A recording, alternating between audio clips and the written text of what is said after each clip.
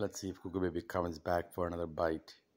He's been coming back and forth for the last five minutes eating my cookie that I'm holding in my hand.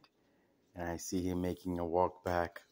He is walking back and he is taking another bite. And then he continues off, rubbing his stomach and he's turning around. And he is coming back for another bite.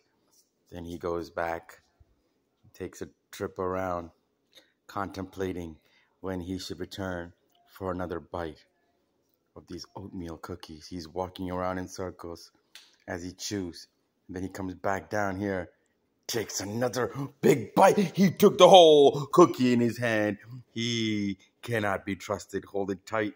Ah, what a bite by Kookoo Babies.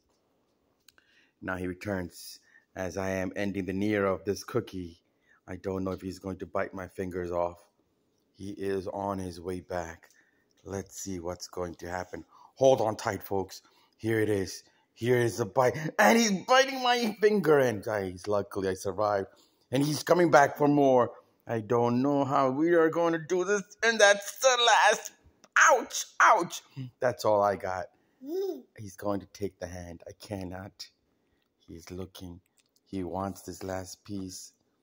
He doesn't know how. How is this going to work? I drop it in his mouth. And that's all we got, folks. That's all we got.